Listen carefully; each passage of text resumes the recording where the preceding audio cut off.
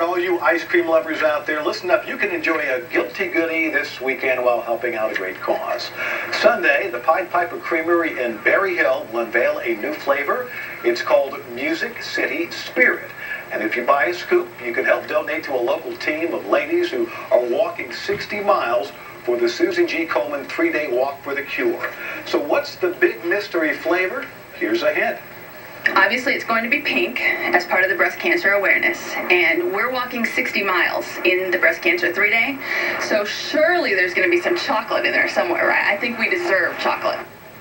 If you head to the shop in Berry Hill Sunday, all the team members will be there to serve you a scoop and take donations for breast cancer awareness.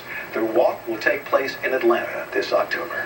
Ah, pink. I'm thinking strawberry, Strawberry sounds baby good. bubble gum. Mm, and no calories. Yeah, right. Totally guilt-free.